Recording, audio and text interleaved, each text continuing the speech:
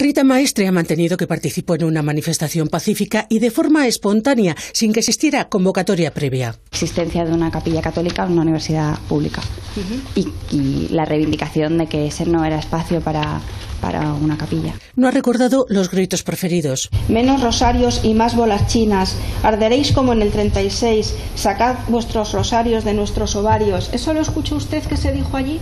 No recuerdo. Ha reconocido que se quitó la camiseta y que hoy no volvería a hacerlo. He visto las consecuencias, intuyo que nadie volvería a hacer una cosa así teniendo en cuenta que cinco años después nos estamos enfrentando a un proceso penal. Y ha pedido perdón. No tengo ningún eh, reparo en, en lamentarlo y en pedir disculpas. El otro acusado, Héctor Beleiro, ha reiterado que no quisieron ofender. Sin embargo, el capellán ha afirmado que Rita Maestre actuaba como si fuera la líder. Ya iba primero y los demás van detrás, luego me, cuando ya me empujan y me quito, pues los demás entran. ¿no? La Fiscalía pide para los acusados un año de prisión.